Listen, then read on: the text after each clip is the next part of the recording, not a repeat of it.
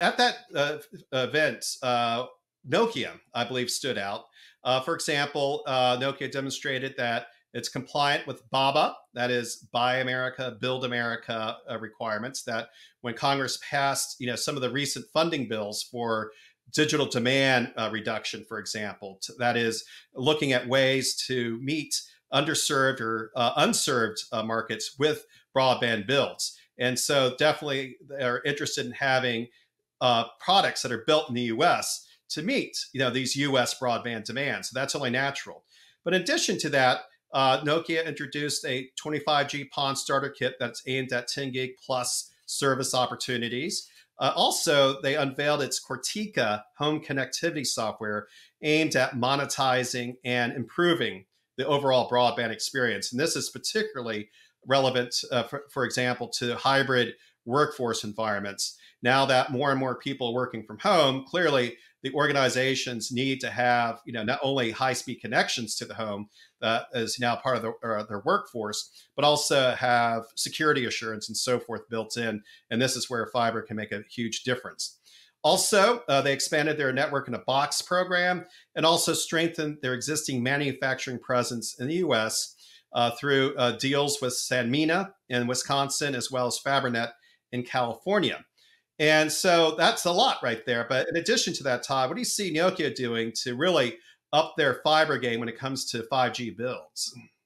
Well, that's those are great points. But Nokia and Vodafone began in 2021 to trial PON technology, passive optical network. Um, this delivers record speeds of up to 100 gigabytes a, gigabits a second on a single PON wavelength. This is 40 times faster than widely deployed gigabit PON technology and 10 times faster than the most widely advanced fiber networks in operation today. That's a giant jump. That's a giant performance jump. So this trial to, to, me shows that there are no limits to fiber networks. The, the amount of performance that we're going to get out of these, I don't think there's any limit to it. It's just going to keep getting more uh, better and faster. They're huge capacity. Oh, yeah. yeah. Their huge capacity potential and wide availability can transform fiber into a unifying infrastructure that connects everything consumers, businesses, smart cities, 5G cells, and more. And one of the things that we don't talk about that much is how fiber can bring service to places that aren't getting service, rural areas, uh, you know, remote areas. I think that fiber could be the answer in these places. Finally, we've been looking for this for what, two decades, a decade? So I think this is a big deal. Oh, I, I agree unequivocally. Can you say future proof? Because as you can see, right now, the industry in the US at least is certainly focused on, for example, 25G PON. But knowing that there is 100G PON capabilities further out, definitely I think gives more confidence in investing in you know the PON infrastructure that is quite simply essential to yeah. you know, the ability of 5G to serve you know these uh, difficult to reach areas. And uh, this is all I think uh, coming together more. I think again to your point, the BEAD funding uh, that Congress authorized will help drive uh, some of this certainly over the next uh, a few years. I, I, I, agree accordingly.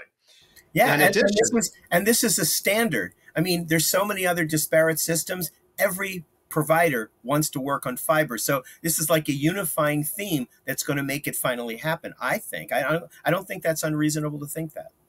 Sure. No, I I, I think that's an excellent point. It's uh, the flexibility of fiber. At least some of these fiber platforms can handle multiple capabilities on a single unit or a single platform. That includes certainly 5G small cell backhaul, but in addition to you know business to business connections and a host of other you know uh, requirements.